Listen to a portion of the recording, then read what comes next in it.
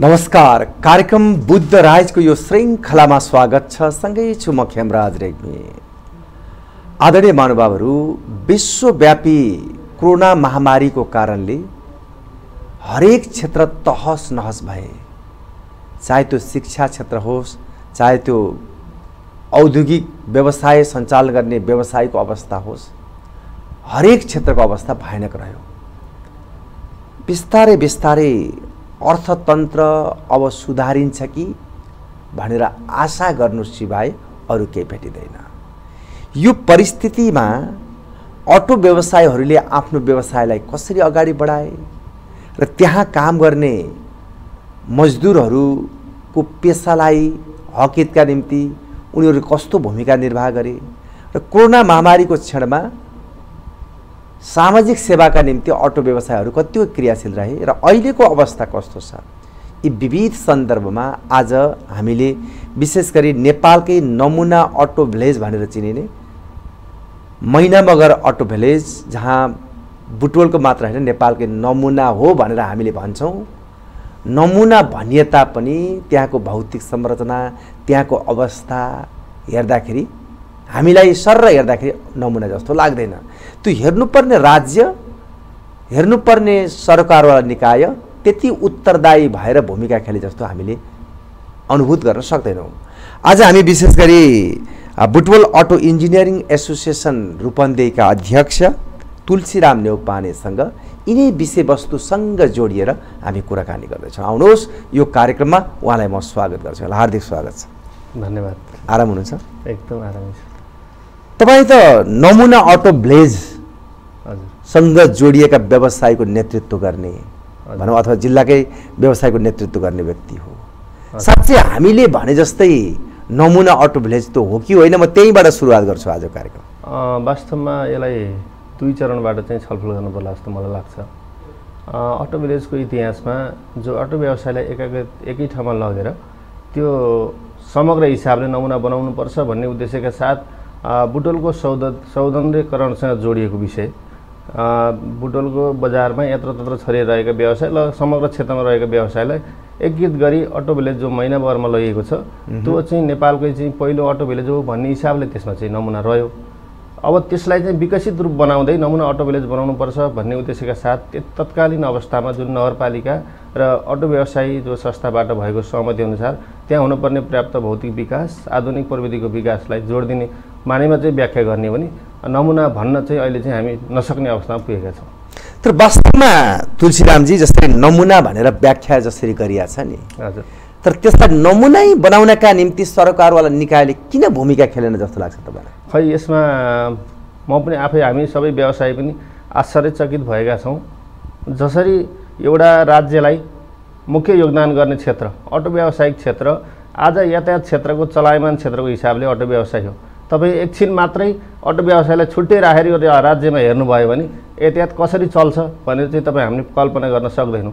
त्यत्रो महत्त्वपूर्ण क्षेत्र भए तापनि किन आज आज राज्यले त्यसलाई प्राथमिकता दिन सकेको छैन? किन त्यो विकासमा जोड दिन सकेको छैन? यस विषयमा हामी अलिकति चिन्तित भएका छौँ।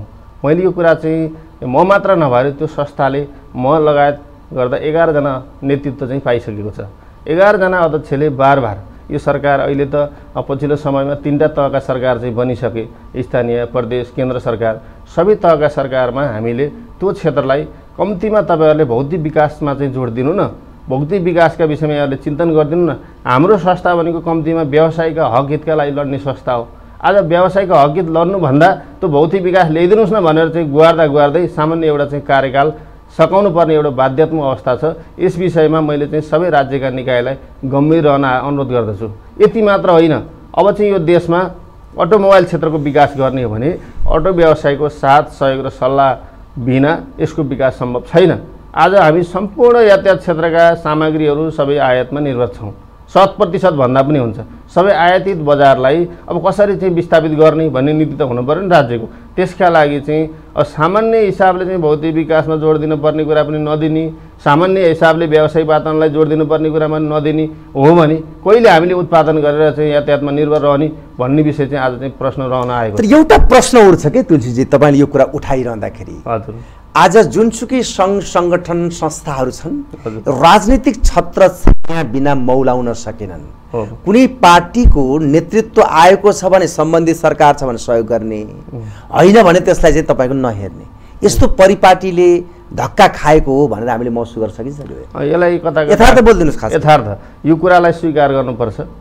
म आफै पनि एउटा पृष्ठभूमि के हो भने त्यो क्षेत्रमा अलिकति राजनीतिले चाहिँ रोमल लिएर चाहिँ हामी समस्या पऱ्यौँ कि त्यो व्यवसायको दृष्टान्त बनौँ कि भनेर मैले आफूले पनि त्यो क्षेत्रमा एउटा विद्रोह गरेर गैर राजनीतिक चाहिँ एउटा संस्था बनाउनुपर्छ अथवा त्यो आस्थाबाट चाहिँ प्रेरित हुनु हुँदैन सबैको साझा संस्थाको रूपमा चाहिँ बिना राजनीतिक हिसाबले अगाडि जानुपर्छ। त्यो व्यवसायी संस्थाको त्यो नेतृत्व त्यो टिमले चाहिँ राज्यका ढोकामा चाहिँ धगधगाउनुपर्छ भन्ने उद्देश्यका साथ सुरुवाती चरणमै मैले प्यानल निर्माण गरेर हामीले विजय हासिल गरेर अगाडि गयौँ। त्यो सन्दर्भमा हजुरले भनेको कता कता चाहिँ मलाई झल्को लाग्छ। म हरेक सरकारका निकायमा जान्छु। यो कताबाट चाहिँ विचारबाट चाहिँ उ छ कता चाहिँ यसको चाहिँ समर्थन छ भन्ने दृष्टिकोणले राज्यका विचार बन्ने चाहिँ गरेका छन्। यो तितो यथार्थ हो। यो कुराले चाहिँ यदि कसैलाई चाहिँ त्यस्तो चाहिँ नराम्रो लाग्छ भने यस विषयमा उहाँ नै सचिनुपर्छ भन्ने मैले कुरा जोडदार चाहिँ राख्न चाहन्छु। यो कारणले गर्दाखेरि त्यहाँ ध्यान नपुगेको हो भनेर भन्न सकिन्छ सकेन भन्ने मेरो अझ तर्क के त्यहाँ? यो कारणले मात्र त होइन। यही यति मात्र कारणले यसलाई निचोड निकाल्न त सकिँदैन। तर वास्तवमा चाहिँ ध्यान नदिनुको कारण चाहिँ यो क्षेत्रलाई राज्यले चाहिँ प्राथमिकता दिएन। मैले के भयो भने साँच्चै त्यो नमुना भिलेज बन्ला खास? यो नमुना भिलेज बनाउनको लागि मुख्य गरी देशको मन्त्रालयमा नै यातायात तथा अटो व्यवसायीको त्यो सम्बन्धन हुने खालको हामी गएर मन्त्रालयमा गएर हाम्रो विषय राख्दा पनि कुन मन्त्रालयले विषय समेट्ने भन्ने नै हामी अन्यलमा छौँ। भौतिक विकासमा हामी जोड दिन जान्छौँ भौतिक विकास मन्त्रालयमा जानु पऱ्यो अनि मजदुरका कुरा लिएर जानु पऱ्यो श्रम मन्त्रालयमा जानु पऱ्यो कम्तीमा यो क्षेत्रको समस्या समाधान गर्ने गरी त्यो मन्त्रालयले विभिन्न विभागहरू गठन गरेर जिल्ला तह स्थानीय तहसम्म गठन गरेर गर्ने हो भने त हामी चाहिँ हाम्रो समस्या जोडदार हिसाबले त्यहीँ गएर समस्या समाधान गर्न सक्छौँ। मुख्य कुरा त्यो छ। अर्को कुरा स्थानीय सरकारसँग सबै कुरा जोडिन्छ। किनकि हामीले चाहिँ सिंहदरबारको अधिकार तल ल्याइसक्यो नि त। तल ल्याइसकेपछि त मुख्य जोड्दै हामीलाई जब आज व्यवसायीले म अध्यक्ष नेतृत्व गरेको छु त्यहाँ बाटो बनेन त्यहाँ नाली बनेन अथवा त्यहाँ भौतिक विकास भएन भने अध्यक्षले गरेन भन्छ। व्यवसायको सही कुरा हो। किनकि मैले त्यहाँ नेतृत्व गरिसकेको छु नि तर म नेतृत्व गरेर जाने कहाँ भन्दा पहिला वडा हो। त्यसपछि नगर हो। नगरले चाहिँ केन्द्रसँग यदि चाहिँ हामीले त्यहाँ पहुँच पुर्याउन सकिएन भने पनि हाम्रा समस्या सक्ने भने नगरको विकास योजना अन्तर्गत ल्याउनु पऱ्यो नसक्ने भने कुन निकाय गुहारेर गर्ने हो त्यो त स्थानीय सरकारको मुख्य दायित्व हुन्छ। र आज म चाहिँ देशका सबै मन्त्रालयमा चाहिँ धाउँदै गर्दा यो त स्थानीय तहले हेर्ने विषय हो नि। यो हाम्रो माताभन्दा स्थानीय तहले अनुरोध गरे पनि सहज हुन्छ भनेर आउने प्रश्नका उत्तरका हिसाबले मैले स्थानीय सरकारमा चाहिँ अलिकति यो विषयलाई प्राथमिकता दिनको लागि पनि अनुरोध गर्न चाहन्छु यस विषयलाई। तर तपाईँहरू घचघचाउनु भएको छ कि छैन सम्बन्धित निकायलाई खास गरी? वास्तवमा यद्यपि टेलिभिजनको माध्यमबाट तपाईँ भन्नुहुन्छ त्यो एकातर्फ छ। तर स्वयं तपाईँ आफै गएर तपाईँको टिम गएर यहाँका समस्या यी हुन् समाधान गर्न पहल गर्नु पर्यो यो नमुना गर्नु पर्यो। भन्ने खालका दृष्टिकोण राख्नु भएको छ कि छैन? घचघचाउनु भएको छ कि छैन? घचघचाउने विषय त वास्तवमा मैले मात्र नभएर त्यो सिङ्गो संस्थाका सबै नेतृत्वले स्थानीय सरकारसँग पनि घचघचाइरहेका छन्। म त आफू इभन मैले कुरा गर्ने भने मेरा मागका विषयमा आज मन्त्रालयका चाहिँ त्यहाँ फाइल रेकर्डमा हेर्ने भने पनि सबै त्यहाँ दर्ता भएर बसेका छन्। प्रदेश सरकारका मन्त्रालयमा गएर हेर्ने भने पनि त्यहाँ दर्ता भएर बसेका छन्। स्थानीय सरकारमा गएर हेर्ने भने प्रत्येक वर्ष त्यहाँ दर्ता भएर बसेका छन्। खालि कार्यान्वयन हुने विषयमा राज्यले चासो नदिएको हो यो विषय। यो विषयमा गम्भीर रहनको लागि चाहिँ मैले बार बार अनुरोध गरिरहेको छु। कम्तीमा हामीलाई हामीलाई हाम्रा व्यवसायी र मजदुरका मात्र चाहिँ चिन्तन र कसरी चाहिँ आधुनिक मैत्री व्यवसाय सञ्चालन गर्ने भन्ने चिन्तन मात्र चाहिँ गर्ने वातावरण तयार गरिदिनुहोस्। अब म भोलि आजको यो सामाजिक संस्था हो नि त अटो व्यवसायी संस्था हुने कुनै बाटो नाली बनाउने संस्था त होइन। त्यो हिसाबले चिन्तन गर्ने वातावरण तयार गरिदिनुहोस् भनेर विनम्रताका साथ मैले बार बार हरेक ठाउँमा गएर अनुरोध चाहिँ गरिरहेको छु। एउटा सन्दर्भ यी प्रसङ्गहरू त जोडौँला फेरि। तपाईँ जब कोभिडको समस्या आयो समस्या आउँदाखेरि प्रत्यक्ष जनतासँग जोडिने विषय हो तपाईँहरूको खास। व्यवसाय कि? यातायातका साधनहरू तपाईँसँग जोडिएर मात्रै बनेर अगाडि बढ्ने कुरा हो। त्यति बेला त्यो चुनौतीसँग तपाईँहरू कसरी जुझ्नुभयो? त्यहाँ मजदुरहरू पलायन हुने स्थिति थियो कि थिएन?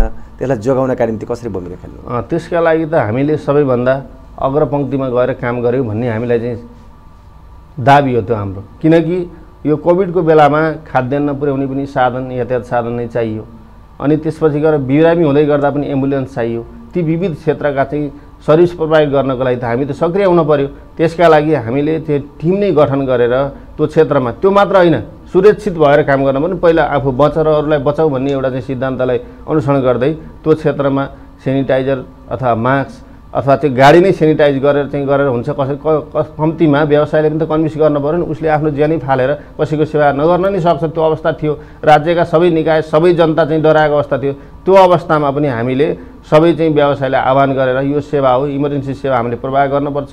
जीवन भन्ने कुरा सेवाको कुरा हो भन्ने हिसाबले उत्प्रेरित गराएर त्यो गाडी आइसक्यो गाडीलाई गेटबाट सेनिटाइज गरेर हरेक क्षेत्रका एम्बुलेन्स दमकल अथवा चाहिँ ढुवानीका अथवा विविध चाहिँ इमर्जेन्सी सेवा सरकारी निकायका सबै गाडी चाहिँ मर्मत गर्ने गरी सहज वातावरण तयार गऱ्यौँ साथसाथमा त्यहाँ मजदुरको विषय आयो।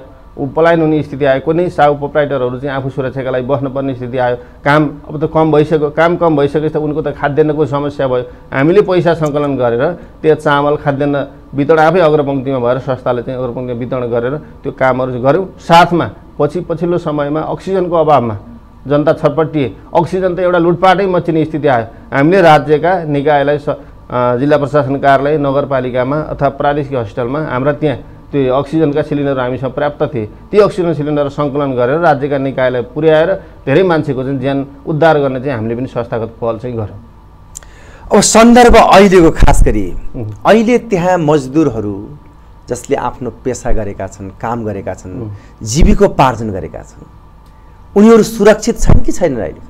सुरक्षित चाहिँ छन्। हामीले चाहिँ के गरेका छौँ भन्दा व्यवसायी र मजदुर हाम्रा एकअर्काका परिवार पूरक हुन् एक सिक्काका दुई पाटा हुन्।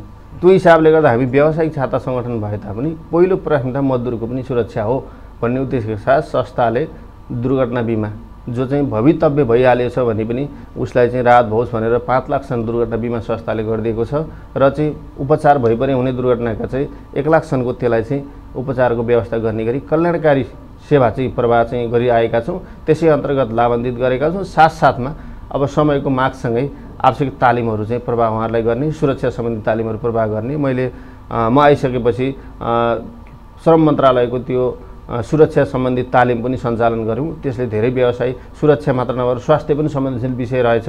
काम गर्दा कसरी चाहिँ त्यसमा चाहिँ काम गर्नुपर्दो रहेछ।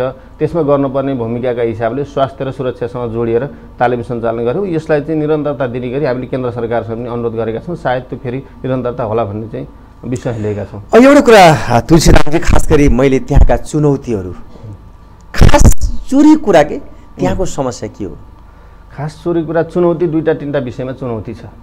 अब अटो व्यवसाय विगतको म यो चाहिँ अलिकति चाहिँ नमिठो लाग्ला। विगतमा चाहिँ समाजले चित्रण गर्ने विषय के थियो भने अध्ययनशीलता गरेन अथवा चाहिँ पढेन भने अटो व्यवसाय क्षेत्र पठाउने भन्ने हिसाबको एउटा चिन्तन विकास भएको थियो। त्यो आज त्यसले हुँदैन।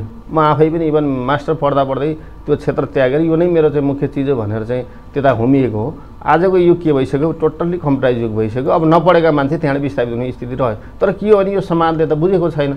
समाजले अब चाहिँ आज देशमा युवाहरू चाहिँ वैदेशिक रोजगारमा गएका छन्। तपाईँ हामीलाई थाहा छ शिक्षा प्रणाली के छ? तपाईँ शिक्षा सिद्धिसकेपछि शिक्षा केही नै होइन। सिप ठुलो कुरा भन्ने हामीले चाहिँ जोड दिएका छौँ। त्यसले गर्दा आजको युवा त्यो क्षेत्रमा आकर्षण गर्नुपर्ने हाम्रो हाम्रो मात्र नभएर समग्र चाहिँ अब पहिलो चुनौती त हाम्रो लागि भयो किनकि त हामीले त जति जनशक्ति पाउँदैनौँ। युवा यदि चाहिँ आकर्षित भएन भने त त्यो क्षेत्र चलायमान बन्न नसक्ला। त्यसले गर्दा चाहिँ त्यो मजदुरहरूको रोजी रोजीरोटीसँग जोडिएको र रोजगारीसँग जोडिएको विषयले गर्दा पहिलो कुरा चाहिँ त्यहाँका व्यवसायलाई आकर्षण गर्नको लागि नयाँ पुस्ता आउनुपर्छ भन्ने चाहिँ एउटा हाम्रो चुनौती हो। त्यसलाई मध्यनजर गरी मैले आफू आइसकेपछि एउटा कार्यशाला गोष्ठी मार्फत त्यो क्षेत्रमा एउटा अटो इन्जिनियरिङ कलेज सञ्चालन गर्नुपर्छ। त्यो कलेज कस्तो हो भने यो सामान्य सरकारका उपचारिताका लागि दिने शिक्षा होइन। बिस पर्सेन्ट थ्योरिकल कुरा पनि आवश्यक पर्छ थ्योरिकल पढ्छ अस्सी पर्सेन्ट चाहिँ त्यहाँ चाहिँ उसले कार्यशाला चाहिँ त्यो ओजिटी मोडलको चाहिँ त्यहाँ काम गर्छ। कम्तीमा त्यहाँ काम गर्दा पनि उसले बस्ने खानेको चाहिँ स्यालेरी पे गर्छ।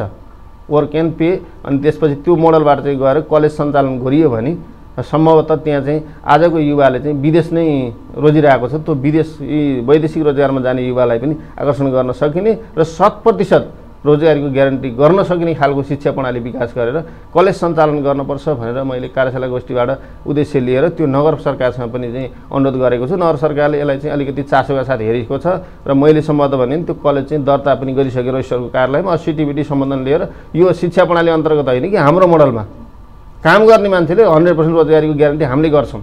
आज मैले यो भन्न सक्छु दाबीका साथ पाँच वर्ष हामीसँग व्यतीत गर्नुहोस् तपाईँको जिन्दगीको जिम्मा हामीले लिन्छौँ। आज तपाईँले पाँच वर्ष वैदेशिक रोजगारमा दुवै बस्नुहुन्छ कतार बस्नुहुन्छ पाँच वर्ष आएपछि के गर्ने? तपाईँ आफै अन्डल हुनुहुन्छ। पाँच वर्ष कहिलेकाहीँ डुल्दा डुल्दै यताउतै जान्छ। पाँच वर्ष मात्र मिहिनेत गर्नुभयो भने तपाईँको जिन्दगीको जीवकीपार्जन चाहिँ त्यहाँबाट हन्ड्रेड पर्सेन्ट शत प्रतिशत हुन्छ भन्ने कुरा चाहिँ यो मैले यहाँहरूलाई सबैलाई अनुरोध र जानकारी गराएँ। बडो गजबको प्रसङ्ग जोड्नुभयो यसले पाँच वर्ष तपाईँहरूसँग जोडियो भने ऊ जीवनमा भोक भोकै मर्नु पर्दैन। निराश भएर बाँच्नु पर्दैन। ऊ विदेशको लागि ढोका घचघचाउनु पर्ने अवस्था। आउँदैन। आउँदैन। यसको उदाहरण म यसको आधार दिनुहोस् न आधार। के छ भने म पनि अध्यय पढेँ। पढ्ने सिलसिलामा मैले ब्याङ्कका जागिरहरू पनि पाएँ। त्यो अवसरहरू पनि भयो। तर म चाहिँ मेरो एउटा चाहिँ यो जड चाहिँ के भन्दा मेरो बुवा यसको श्रेय चाहिँ मेरो बुवालाई दिन्छु। मेरो पुर्ख्यौली बुवाले चाहिँ यो पेसा गर्नुभएको। म प्लस टू पढ्दादेखि नै त्यहाँ पनि इन्भल्भ हुन्थेँ दिउँसोमा बिहानमा कलेज पढ्थेँ। कलेज पढेर जब चाहिँ म मास्टर पढ्दा पढ्दा के निस्क्यो निस्क्यो भने म चाहिँ यो जागिरमा एप्लाई गर्दछ। मेरो गन्तव्य त कहाँ भन्दा त्यहाँ चाहिँ जिन्दगी त्यहीँ रमाइलो नि यो पेसामा जोडियो भने कम्तीमा उद्यमी बन्न सक्छु र मेरो सजिलै चाहिँ मेरो जीविकोपार्जन गर्न सक्छु भनेपछि मास्टर पढ्दा पढ्दै होइन म अध्ययन चाहिँ अब स्टप गर्छु। म यता नै जोड दिन्छु भनेर म आज चलेको छु। जे होस् म आफू चाहिँ सफल छु भन्ने मलाई चाहिँ दाबी हो। त्यो हिसाबले सबैले एनालाइसिस गरेर आज यो संस्थाको नेतृत्व गर्ने ठाउँमा पुग्नु पनि म त्यो क्षेत्र रोजेका कारणले गर्दा यो ठाउँमा पुगेको भन्ने एउटा कुरा जोडिदिनुहोस् त तपाईँहरूसँग सिप सिकेकाहरू हजुर। तपाईँहरूसँग जोडिएका नागरिकहरू हजुर। नेपालको अन्यत्र ठाउँमा रोजगारी पाएका छन् र सँगसँगै विदेश जाँदाखेरि सजिलैसँग काम पाएको अवस्था छ? त्यो त अभियसली छ नि। तपाईँ विदेश जानुभयो लेबरमा कम्ती जानुभयो भने तपाईँको स्यालेरी कति हो? तपाईँ हामीले जानेकै छौँ। कम्तीमा त्यो व्यवसायमा धेरै होइन। एक वर्ष मात्र जोडिँदा पनि हामीले एउटा सर्टिफिकेट प्रदान गर्छौँ। त्यति सर्टिफिकेटको आधारले कम्तीमा लाखभन्दा बढी स्यालेरी खाने त हैसियत राखेका छौँ। तर यो कुरालाई म जोडी किन दिन्न भन्दा यहाँ सिक विदेश जाऊ काम गर भन्ने चाहिँ फेरि सन्देश जान सक्छ।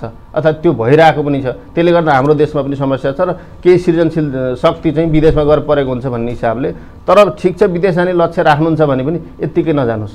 एक आध वर्ष दुई वर्ष हाम्रो क्षेत्रमा आएर जोडिनुहोस्। तपाईँलाई चाहिँ त्यो स्किल प्रमाणपत्र हामीले प्रदान गर्छौँ। त्यही प्रमाणपत्र देखाएका भरले तपाईँले लाखभन्दा स्यालेरी मलाई दिन्छस् कि दिनुहोस् भने तपाईँ आज यहीँबाट बार्गेनिङ गरेर विदेशको जुन कुना पनि गरेर तपाईँले व्यवसाय गर्न सक्नुहुन्छ त्यो चाहिँ हाम्रो सम्पत्ति हो त्यो हाम्रो गुडविल हो।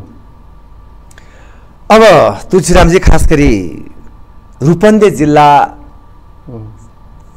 देश भारतसँग जोडिएको। जिल्ला हो खास गरी। नजिकै बोर्डर छ। यो बोर्डर अटो व्यवसायका लागि फाइदा या घाटा? के भन्नुहुन्छ तपाईँ? अहिले साँच्चै यथार्थ भित्री कथाबाट एनालाइसिस गर्ने हो नि त। बेफाइदा नै मानिरहेछौँ। कसरी? कसरी बेफाइदा मानिरहेका छौँ भने यो राज्यको नीति कानुन भनेको कडाइका साथ लागू गरेन।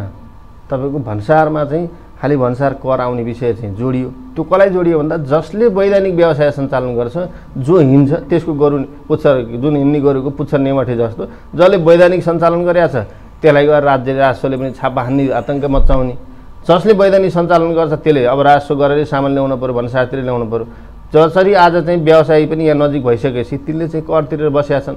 बोर्डर पारी गएपछि त स्वाभाविक सस्तो त हुन्छ हुन्छ। हामीले भन्सार तिर्छौँ राजस्वलाई कर तिर्छौँ त्यसमा आफ्नो प्रफिट राख्नु पर्ला। त्यसले गर्दा त्यो हिसाबले गर्दा दिनदाडै तपाईँको बिचौलिया परेको हुने त्यसपछि चोरी पैठारी बढ्ने त्यसमा हामीले प्रतिस्पर्धा गर्न सक्ने अवस्था त रहेन। यसै कारणले गर्दा आजको यो कोभिड पश्चातको समयमा हाम्रो व्यवसाय पलायन हुने भन्ने अवस्थामा पुगेका छन्। त्यसले गर्दा यसमा पनि हामी अलिकति गम्भीर चिन्तित भएका छौँ। यो विषयलाई चिन्तित भएर कसरी हुन्छ सामाजिक सञ्जालका संस्थाहरूसँग चाहिँ अन्तर्क्रियात्मक कार्यक्रम गर्ने हो कि? यस विषयमा राज्यको मैले चाहिँ जिल्ला प्रशासन कार्यालयमा भन्सार कार्यालयको प्रमुख सहित चाहिँ ज्ञापन पत्र पनि बुझायो। ल को छ तपाईँले खबर गर्नुहोस् हामीले तत्कालै कारवाही गर्छौँ भन्नुहुन्छ। उहाँहरू त के गर्न बस्नु? हामीले सुराकी सबै कुरा गर्ने भने त उहाँलाई चाहिँ के गर्नु पर्यो? कम्तीमा त्यहाँ चाहिँ आउने कुरा त हन्ड्रेड पर्सेन्ट टाइट गर्नु न। हामी राज्यलाई कर तिर्न तयार छौँ त? हामीले गलत गरेका छौँ भने हामीलाई निगरानी गर्नुहोस् न त। के हो त्यो समस्या अनि हामीभित्र? तपाईँ कोही पनि व्यवसायी अथवा कुनै पनि ग्राहकले. सामग्री भारतबाट ल्याएर तपाईँकै व्यवसायीसँग ल्याएर काम गराउँदाखेरि हजुर त्यसको निगरानी त तपाईँहरूले पनि त बढाउनु पर्यो होइन। निगरानी बढाउने कुरा दुईवटा समस्या छ निगरानी बढाउने कुरा त्यो कस्टमरलाई यो हामीले चाहिँ भन्यौँ एकचोटि चाहिँ व्यवसायी र मजदुर दुइटै मोटर पार्ट्स र मजदुरहरूलाई पनि राखेर ल के छ यसलाई चाहिँ जसले बिल ल्याउन त्यसको चाहिँ सामान फिट नगरिदिनुहोस् भनेर आह्वान पनि गऱ्यौँ आह्वान गर्दा चाहिँ एउटा समस्या के रह्यो भन्दा चाहिँ यो चोर बजार विकास भइसकेपछि त्यहाँ गाडी नगर उल्टो चाहिँ त्योभन्दा बाहिर गएर चाहिँ सामान ल्याइदिएर एकजना एकाध व्यक्ति हेल्पर मान्छे प्रयोग गरे मान्छे स्वार्थको संसार छ। लहर झन् बाहिर गाडी जाने स्थिति रह्यो। कम्ती एउटा चाहिँ मेकानिक्सले अथवा चाहिँ मिस्त्रीले चाहिँ जाहिर पाएको त्यो पनि फुस्किने स्थिति आयो। भनिसकेपछि त त्यो बोर्डरमा टाइट नगर्ने नीतिगत हिसाबले चाहिँ कडाइ नगर्ने भने त यसको समस्या समाधान हुने भयो। जस्तो परिस्थिति कहाँ त्यस्तै परिस्थितिमा उभिनुपर्ने बाध्यता भयो भन्नुभयो। जस्तो परिस्थिति उभिनु पर्ने भन्न त्यो त पूर्ण रूपले मत्तु भन्नेमा पनि होइन कि। जस्तो कि तपाईँको हाम्रो व्यवसाय एकै ठाउँमा एउटै छानाभित्र सबै सेवा एउटा अटो भिलेज छ। मैले इभन एउटा चाहिँ मेकानिक्सको सेवा प्रोभाइड गरेको छु एउटाले पार्ट्सको प्रोभाइड गरेको छ। हाम्रा मूलभूत रूपमा व्यवसायका सत्रवटा सेक्टर छन्। भनेको गाडीमा सत्रवटा डिपार्ट छन्। ती सत्रवटा डिपार्टमेन्ट अलग अलग सेक्टरले हेरेको छ। एउटा डिपार्टमेन्टमा सय मान्छे जोडिया हुनसक्छ। त्यसले गर्दा एकअर्कासँग परिपूरक हुनुपर्ने स्थिति आयो। परिपूरक हुँदा चाहिँ अहिले भलै चाहिँ मोटर पार्ट्सवाला व्यवसायलाई मारमा परेका छन्। किनकि उहाँहरूले बिक्री गर्नुहुन्छ। बिक्री भनेको त महँगो चिज हो। लेबर त हाम्रो कस्ट त महँगो छैन। भनेपछि मिस्त्रीलाई मे फिट गराउने मामिलामा त्यो पनि के रुष्ट भइदिएन। मान्छेको चिन्तनका हिसाबले मैले यहाँ सामान फिट नगर्न पाउँदा त मेरो व्यवसाय धराशायी भयो नि भने उता त्यो चिन्तन विकास हुँदा हामी चाहिँ समस्या पऱ्यौँ। त्यसले गर्दा यसको मुख्य जड समस्या त्यो फिट नगर्ने होइन कि बोर्डरमा नै टाइट गर्नुपर्ने अवस्था छ। यदि यस्तै रहने हो भने फेरि हामीले पनि हाम्रो तहबाट चाहिँ राज्यलाई कर के का लागि तिर्ने भने अभियान चलाउनु पर्ने बाध्यात्मक अवस्था हुनसक्छ। त्यो विषयलाई मैले राज्यलाई चुनौतीको साथ यो विषयमा चाहिँ सामना गर्ने गरी तयार हुनुहोस् कि त समस्या समाधान गर्ने भन्ने चुनौती दिन चाहन्छु। अब एउटा एउटा प्रसङ्ग तुलसीरामजी जब तपाईँले बुटवल अटो इन्जिनियरिङ एसोसिएसनको जिम्मेवारी लिनुभयो नि जिम्मेवारी लिइसकेपछि तपाईँले गरेका उपलब्धिपूर्ण कामहरू के हुन् जहाँ व्यवसायले वाह भन्ने खालको वातावरण होस् अ, मूलभूत रूपमा कहीँ टु यात्रा दि पोइन्ट जानुहोस् त। टुरी पनि जान्छौँ। कहीँ यात्रा तय गरिसकेपछि त्यसको मार्गदर्शन हुन्छ। त्यो मार्गदर्शन तय गरेर मैले कार्यशाला गोष्ठी मार्फत चाहिँ त्यसको मार्गदर्शन तयार गरेर कार्यविभाजन मार्फत काम गरेँ। त्यो कार्यविभाजन अन्तर्गत विभिन्न कामहरू भएका छन्। त्यस अन्तर्गत पहिलो काम चाहिँ मैले एउटा के गरेको छु भन्दा फरक किसिमको व्यवसायको समस्या र गुनासा समाधान गर्ने गरी एउटा मेलमिलाप केन्द्र। व्यवसाय मात्र होइन ग्राहक। ग्राहकलाई पनि त त्यहाँ समस्या पर्न सक्छ नि त। ग्राहक र व्यवसायीका दिनका दिन चाहे चाहिँ त्यो पैसा व्यवसायले नपाएको स्थिति होस् चाहे चाहिँ ग्राहक ठगिएका विषय होस् तत्कालै संस्थामा चाहिँ उजुरी गर्न सक्छ। त्यो मेलमिलाप समितिले बसेर दुईवटा पक्षलाई राखेर समस्या समाधान गर्ने गरी एउटा पहिलो कुरा चाहिँ त्यो काम चाहिँ निरन्तर रूपमा चाहिँ अघि बढिरहेको छ। त्यो हिसाबले संस्थालाई पनि लाभ भएको छ व्यवसायलाई पनि लाभ भएको छ। एउटा कुरा दोस्रो कुरा मैले इन्जिनियरिङ कलेज सञ्चालनको अवधारणालाई त्यो द्रुत गति गरेर अहिले चाहिँ त्यो कक्षा सञ्चालन तत्काल सर्ट टर्मका कक्षा सञ्चालन गर्न सजिलो होस् भनेर त्यो सवाल चाहिँ निर्माण गरेँ। अर्को कुरा चाहिँ त्यहाँ हामी व्यवसायको त्यो एउटा ग्रिन लाइन सुरु लाइनदेखि लास्ट लाइनसम्म त्यो पुलको काम गर्ने गरी एउटा ठाउँ छुट्याइएको थियो तर चाहिँ त्यसलाई चाहिँ विकास नगरेर त्यो चाहिँ डम्पिङ साइड जस्तो भएको थियो त्यसलाई व्यवस्थित गरेर लक टाइल लगाएर त्यो बाटो निर्माणदेखि लिएर सबै काम पनि त्यहाँ सम्पन्न गरेको छु। अर्को कुरा त्यहाँ भौतिक विकासका निर्माणका सन्दर्भमा अन्य सरकार निकायसँग पहल गर्दै केही कामहरू गरेको छु। अर्को कुरा त्यस सुरक्षाका दृष्टिकोणले सिसी क्यामेरा जडान गर्ने कामको चाहिँ सुरुवात भएको छ सबै अटो भिलेजभरि। अर्को सुरक्षा निकायलाई चाहिँ व्यवस्थित सञ्चालन गर्ने प्रहरी चौकी निर्माण गरेर चाहिँ त्यसको चाहिँ सञ्चालन गरेर त्यहाँ चौकी अहिले बसिरहेको छ। अर्को कुरा हाम्रो आधारभूत स्वास्थ्यसँग जोडिएको विषय खानेपानी। खानेपानी जो चाहिँ समस्या थियो त्यसलाई चाहिँ अब निराकरणै गर्ने गरी चाहिँ करिब चार पाँच करोडको प्रदेश सरकारसँग समन्वय गरेर खानेपानी आयोजना चाहिँ ट्याङ्की ओभर ट्याङ्की बनिरहेको। हाम्रो कम्पाउन्ड सहितका चाहिँ भवनहरू बनेको र पाइपलाइन अहिले विस्तार भएको छ सम्भवतः विद्युतीकरणको हामीलाई समस्या छ। विद्युतीकरण चाहिँ सम्पन्न भयो भने म केही महिनाभित्रै अब यो चाहिँ पानी सप्लाई गर्ने गरी चाहिँ काम अगाडि बढाएको छ। यी यावत कुराहरू धेरै कुराहरू छन्। साथै संस्थाको गरिमा बढाउने गरी चाहिँ विभिन्न निकायहरूसँग चाहिँ हामीले चाहिँ सहकार्यका साथ अगाडि बढेका छौँ र भोलिका दिनमा संस्थालाई पनि एउटा सबैको साझा सम्पत्तिको रूपमा रूपन्दैभरि चाहिँ विस्तार गर्नुपर्छ भनेर विधानका भएका केही सङ्कुचित चिज छन् भने त्यसलाई संशोधन गरेर भए पनि सबैलाई आह्वान गरेर यो संस्था साझा सम्पत्ति रूपन्दै भनेर चाहिँ अगाडि बढ्ने गरी चाहिँ अगाडि बढेका छौँ। यावत कुराहरू छन् त्यसको समीक्षा गर्दा चाहिँ धेरै लामो होला। मूल ठिक छ ठिक छ तुलसीरामजी अब तपाईँहरू साधारण सभा पनि गर्दै हुनुहुन्छ तपाईँ कार्यकाल कति बाँकी छ? यो कार्यकालभित्र तपाईँले जुन एउटा विश्वविद्यालय विद्यालय चलाउने कलेज चलाउने जुन एउटा चाहिँ सोच बनाउनु भएको छ त्यो पुरा हुन्छ हुँदैन? अब मूलभूत रूपमा का- कलेज सञ्चालनको कार्यविधि अलिक फरक बनाएका छौँ। त्यो संस्था सामाजिक संस्थाले कलेज सञ्चालन गर्न भलै चाहिँ सपोर्ट गर्न सक्छ पूर्ण रूपले नसक्ला। त्यसले गर्दा चाहिँ फरक हिसाबले चलाउन सक्ने गरी चाहिँ कलेज चाहिँ अगाडि बढाउनुपर्छ भने त्यो हिसाबले नीतिगत चाहिँ निर्णय गरेका छौँ। र कार्यकाल भनेको आफैमा दुई वर्ष छ जम्मा। त्यसमा पनि अब अहिले पनि हामीले अलिकति ढिलो साढ सभा गरेका छौँ। गर्दा अनुभव लिँदा लिँदै अथवा दौड्दा दौड्दै एक वर्ष जान्छ। त्यसपछि अर्को वर्ष कार्यान्वयन गर्ने समयमा चाहिँ पर्याप्त नहुने हुनाले यो चाहिँ समस्या छ। दुई वर्ष कार्यक्रम एक वर्ष बितिसकेको छ। अब हामीले भोलि पच्चिस गते देशैभरिका सङ्घ संस्थाका अध्यक्ष प्रतिनिधि र जिल्लाभरिका सङ्घ संस्थाहरू सहितको चाहिँ एउटा साढ व्यवसाय सहितको साढ सम्पन्न गर्न गइरहेका छौँ। त्यहाँ चाहिँ व्यवसायका भए गरेका विषय विवरण पेस गरेर भोलिका योजनाका विषय पनि त्यहाँ प्रस्ताव गरेका छौँ। भोलि फेरि यथेष्ट हिसाबले कसरी अझै चाहिँ मार्गदर्शन गरेर अगाडि जान सकिन्छ भनेर व्यवसायका सुझावका आधारले अगाडि बढ्छौँ। र सम पर्याप्त भन्दा चाहिँ संस्थामा चाहिँ कम्तीमा तिन चार वर्ष नहुँदासम्म धेरै कुरा चाहिँ सम्पन्न गर्न समस्या एउटा। कुरा मलाई सोध्न मन लागेको नेपालको कन्टेस्टमा हेर्दाखेरि कयौँ मानिसहरूलाई सङ्घ सङ्गठनको अध्यक्षमा पुग्ने रहर हुन्छ? हजुर। जसरी पनि पुग्ने। जे गरेर भए पनि पुग्ने चुनावै लड्नु पर्यो भने पनि पुग्ने। त्यहाँ जनताको काम गर्ने व्यवसायको काम गर्ने सोचका लागि पुग्ने भन्ने हुन्छ कि अलिअलि गुलियो पनि पाइन्छ भन्ने सोचका साथ पुग्ने। होइन त्यो त यस्तो छ। ठेट कुरा भनिदिनुहोस् त त्यो खास त मान्छेको क्रियाकलापमा निर्भर गर्ने। सबै मान्छे स्वार्थका लागि नजान नि सक्छ। सबै मान्छे चाहिँ नगर्ने नजान नि सक्छ। त्यो त एनालाइसिस गर्ने जिम्मा त जनतालाई दिनु पऱ्यो त्यहाँ गरेको नेतृत्वले कसले कसका पछि काम गरिरहेको त्यो त सन्ता समाजले निर्धारण गर्ने नि। म त्यहाँ जान्छु भने म यसो गर्दैछु म यसो गर्नको लागि जाँदैछु भनेर पहिला जनतालाई आश्वासन दिएर म निर्वाचित हुने अथवा जो गए पनि। त्यसले त्यो अनुसार गरे गरेन भन्ने त्यसको जज गर्ने जिम्मा त जनतालाई नै दिनुपर्छ। तर देखिँदैन कि ज- जसरी जिम्मेवारी वहन गर्ने भनेर जान्छन् जसरी नेतृत्व हाँक्ने भनेर जान्छन् नेपालको राजनीतिदेखि लिएर हरेक सङ्घ सङ्गठनमा हामीले त्यो हेरिरहेको हुन्छौँ कि। त्यो कुरा चाहिँ यस्तो छ। अब समग्रतामा कति कुरा चाहेर पनि सम्भव हुँदैन। यो संस्था सेरमोनियल संस्था हो। आफूसँग त बजेट हुँदैन नि त। चाहेर मैले त्यो भनेको पुलको काम गर्ने व्यवसायको। पुलको काम गर्दा हजुरले विगतमा उठाए जस्तो कति कुराहरू राजनीतिक हिसाबले चाहिँ पछाडि पर्न सक्छन् कति कुराहरू चाहिँ राज्यको प्रबन्ध नपरे पर्न सक्छन्। त्यसले गर्दा जो हिसाबले चाहिँ उत्साह साथ संस्थाका नेतृत्व गरेका साथीहरूले दिनुपर्ने जो डेलिभरी छ जो चाहिँ सन्तुष्टि छ त्यो भएको चाहिँ छैन। यथार्थ मैले यो प्रश्न तपाईँलाई किन सोधेको भने तपाईँ अलिकति बिचमा बोल्दाखेरि यो कुन पार्टीको हो भन्ने खालका प्रश्न उठ्छन् भन्ने खालका कुरा उठाउँदाखेरि जब नेतृत्वमा गइसकेपछि राजनीतिक दलको छत्र छायाभित्र मौलाउने खालको र अगाडि बढ्ने खालको वातावरण सिर्जना हुन्छ त्यसरी यसप्रति बढी चासो दिन्छन् भन्नका निम्ति सोधिया प्रश्न। यस्तो रहेछ। अब समाज चाहिँ एउटा के रहेछ भन्दा राजनीति बिनाको राजनीति चेतना बिनाको आस्था बिनाका मान्छे जनता चाहिँ नहुने स्थिति रहेछ। कुनै पनि पुलको काम गर्दा एउटा न एउटा चाहिँ मान्छेसँग नजिक हुनुपर्ने यो देशको चाहिँ त्यस्तो चाहिँ संरचना बन्यो हेर्नुहोस्। तपाईँ एउटा सामान्य केही एउटा मान्छेसँग चाहिँ जोडिनुहुन्न भोट हाल्ने बेला तँलाई हाल्छु भनिदिनु भने पनि तपाईँलाई कसैले गर्दै गर्ने। कम्ती एउटा मान्छेलाई तँलाई भोट हालेको है तैँले सहयोग गर्नुपर्छ है भनेर चाहिँ पुलको काम गर्न सामान्य टोलको काम गर्दा त जनताले त्यो अनुभूति गरेर चाहिँ आज राज्यका राजनीतिसँग जोडिने स्थिति बन्यो। यो बन राज्यका कारणले बन्यो हो नि त। जनता बाध्यात्मक अवस्था छ। आज म स्वतन्त्र भनेर चाहिँ बस्यो भने त्यसले चाहिँ कहीँ गएर पहुँच पुर्याउन सक्ने स्थिति छैन। यो दोष कसलाई दिनुहुन्छ ल भन्नुहोस्। यो दोष कसलाई दिने? आज मिडिया तपाईँ इभन मिडिया हुनुहुन्छ। मिडिया त एउटा आस्थासँग नजोडिने मिडियाको विकास गर्न सकिन्न। नसक्ने स्थिति बन्यो कि राज्यको संरचना बन्यो? यो समग्र चाहिँ यस हिसाबले गर्दा यो त यस्तो परिस्थितिले देशको भविष्य अहिलेको वर्तमान स्थितिलाई तपाईँ कसरी निहाल्नु भएको छ? यद्यपि तपाईँ व्यवसायी यस्तो परिस्थितिले चाहिँ वास्तवमा चाहिँ देश बन्दैन।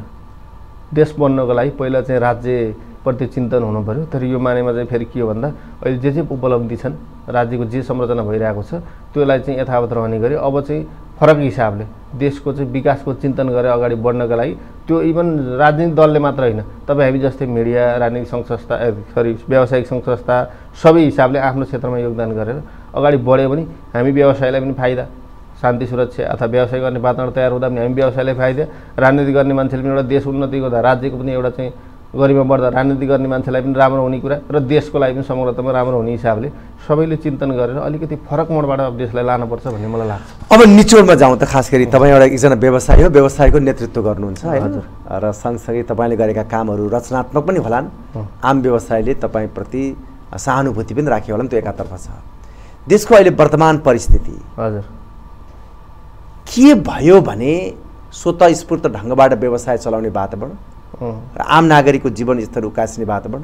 के गर्यो भने हुन सक्ला निचोडमा तपाईँ के भन्नु? निचोडमा यस्तो छ। मैले मेरो व्यवसायसँग के अरे समस्यासँगै जोडेर भन्न मन लाग्यो यहाँ फेरि। महिना बगर अटो भिलेजमा जाँदा भौतिक विकास सन्दर्भमा राज्यले गर्ने आफ्ना संरचना आफै बनाउने भनेर व्यवसायीले त्यहाँ संरचना लगानी लाखौँ फसाएको छ। तपाईँको मिलनचोक अथवा चौडामा आफ्नै घरमा सञ्चालन गरेको चिज यहाँको सम्पत्तिभित्र त्यहाँ लगानी गरेर व्यवसाय गरेको छ तर त्यसको आज मूल्य छैन। किन छैन भन्दा यो राज्यको नीति के बन्यो भन्दा लाल पूर्जा छ त सर्वस्व छ। त्यो व्यवसाय सम्पत्ति के छ त्यहाँको सामान गुड के छ त्यो मतलब छैन। व्यवसाय अब आजको मैले के त्यो जनता कति जनताहरू त्यहाँ अहिले लाल पूजा किन मागिरहेछन् भन्दा लाल पूजा छ त सबै छ। यो लगानीको मूल्याङ्कन त लाल पूजाले गर्दो रहेछ भन्ने चाहिँ यो वित्तीय ठाँका कारणले गरिरहेछन्। त्यही भएर मैले राज्यलाई के अनुरोध गर्न चाहन्छु भन्दा व्यवसायिक धितो राखेर आफ्नो व्यवसाय जति चिज छ नि त जे सम्पत्ति छ नि त्यो पनि त सम्पत्ति हो नि त। सबै चिज धितो राखेर कम्ती एकदम कम से कम सिङ्गल डिजिटको ब्याज हुने गरी यो अस्थिर ब्याङ्किङ नीति चाहिँ हटाएर सिङ्गल डिजिटको ब्याज प्रवाह गरेर व्यवसाय गर्ने वातावरण गर्नुहोस्। म त आफ्नो बारेमा व्यक्तिगत भ्यू त के राख्छु भने तपाईँको निक्षेपमा ब्याज दिनै हुँदैन। निक्षेपमा ब्याज दिनुहुन्छ भने आज एघार बाह्र पर्सेन्ट निक्षेपमा ब्याज पाउनु भएको छ। तपाईँले किन दुःख गर्नुहुन्छ? एक करोड पैसा अहिले नलगाइ नगरी केही व्यवसाय हुने स्थिति छैन। एक करोड राख्नु भने महिना लाख रुपियाँ आउने स्थिति आयो। किन दुःख गर्नुहुन्छ? निक्षेप त स ब्याङ्कले सुरक्षा गर्नलाई राख्ने पैसा। त्यो गर्नु भयो भने कम्ती आफूसँग भएको पैसालाई मैले उत्पादनमा जोड दिन्छु। त्यहाँ लगाएँ भने त कम्ती दस हजार कमाउने बिस हजार कमाउने पचास हजार कमाउने त दिन्छ नि त्यसले। ब्याङ्कमा राखेर मलाई के दिन्छ भन्ने चिन्तन विकास गऱ्यो भने त व्यवसायको वातावरण बन्न सक्छ। त्यही भएर चाहिँ मैले आज चाहिँ व्यवसाय राज्यलाई के भन्छ भने कम्तीमा सानो व्यवसायलाई बिना दिँदो दिए पनि केही हुँदैन। त्यसका नीतिगत हिसाबले के के निर्णय गर्नुपर्ने गर्नु पऱ्यो ठुलो पुँजीलाई दिने भने त्यहाँको सम्पत्ति मूल्याङ्कन गरेर गर्नु पऱ्यो आज तपाईँलाई थाहा छ हामीले भ्याटका नाममा तेह्र पर्सेन्ट तिर्छौँ। राज्यले बिल काटेपछि तेह्र पर्सेन्ट लिन्छ। हाम्रो पैसा उधार हुन्छन् पैसा उड्दैनन् राज्यले त खाइसक्यो तेह्र पर्सेन्ट जब तेह्र पर्सेन्ट राज्यले चाहिँ कर लिइसकेपछि त्यो पैसा नउठेको जिम्मा राज्यले लिने कि नलिने? यो प्रश्न त उठ्ने गरे नि यता कता राज्यले यो चिज गर्नुपर्छ कि इमान्दारिताको चाहिँ देश बनाउनुपर्छ व्यवसाय गरेका व्यवसायीका भोलि डुब्ने स्थिति आयो भने त्यो तेह्र पर्सेन्ट हामीले खाछौँ। भन्ने हिसाबले पनि त्यसको समन्वयकारी भूमिका गऱ्यो भने व्यवसायले निर्धक्क व्यवसाय गर्छ सिस्टमले व्यवसाय सञ्चालन गर्छ अनुशासित देश बन्छ भन्ने मलाई लाग्छ।